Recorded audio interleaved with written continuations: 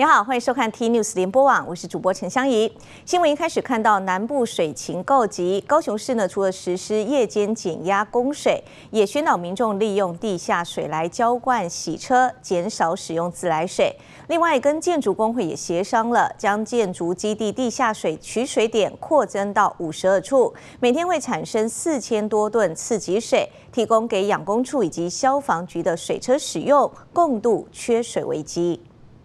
高雄市水情灯号转为黄灯，为了避免浪费自来水，确保民生用水供应充足，市府清查全市深开挖建筑工地，协商五十二处可以提供次级用水，并且由公部门带头，养工处水车就近前往取水，浇灌公园绿地。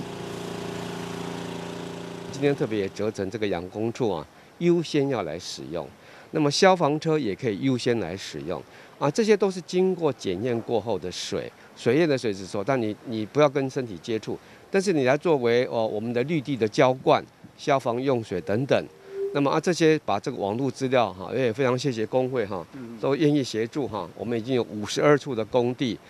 经过地下层的开挖之后所产生的水，转工为啊次级水的使用。除了养工处、消防局水车率先到全市五十二处工地取水之外，市府也鼓励民众就近使用。至于取水点会滚动调整，监管处的官网及手机 APP 都会随时更新资讯。先到我们监管处的网站，你这个网站里面的最后的一个栏位，你一点进去，就它的地图都会出现。今天的这个资料也会全部出现。OK，因为它会是滚动了嘛。所以，所以我们我们会朝向这个目标，让大家很容易的透过手机也可以使用。给我们一点时间哈，杨建建管处很快就会把它改成手机版。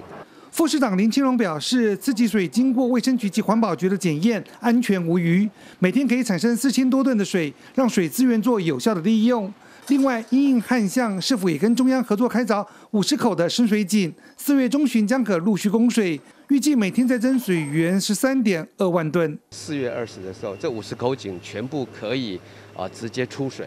啊，这个这个时间点我们大家都掌握得住，所以务必能够确保在四月二十的话全部上线，可以产生十三点六万吨的水哈，那么直接在补给我们的这个民生用水啊，所以这个是我们有把握的啊，请各位啊啊。